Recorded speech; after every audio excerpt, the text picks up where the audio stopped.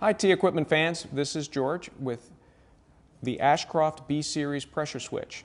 This is uh, one particular version. There's a weatherproof here, and there are uh, also a explosion-proof uh, version as well. What I mainly wanted to show you was how easy it is to uh, make the pressure uh, trip point.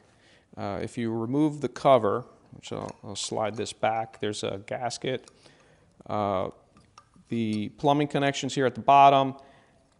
There's a loaded spring here.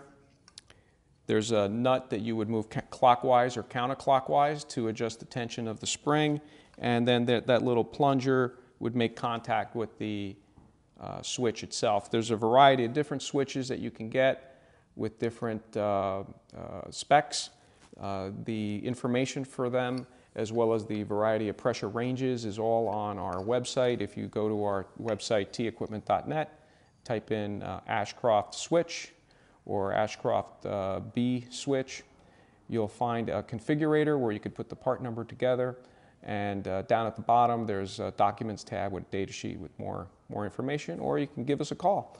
Uh, we'll be happy to talk to you. Thank you again for watching.